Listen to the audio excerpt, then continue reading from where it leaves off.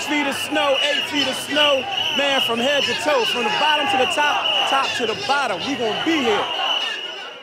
I'm a Local 8 carpenter. I'm a veteran of Iraq.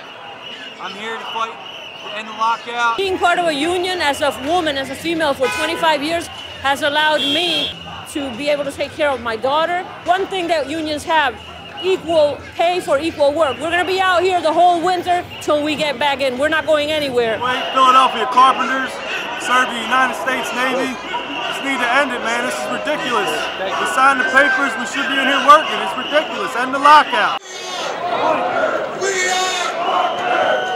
These are the members here. We've all been trained to do this work. These other trades are coming in. They want to do the work. They don't know how to do it.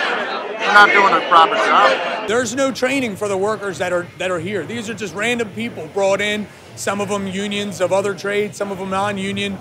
These people aren't trained. You know, there's a saying that we have: cheap labor isn't skilled, and skilled labor isn't cheap.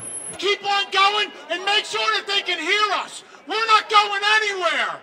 Who are we? Um, nobody wants to be out here. Nobody wants to be going through this. It's not good for business. It's not good for the city. But we will fight for what's ours, and you know, we just want to earn a living. We're going to continue to protest. At the end of the day, remember, we're not going nowhere. We built this building. It's our work, and we're getting it back.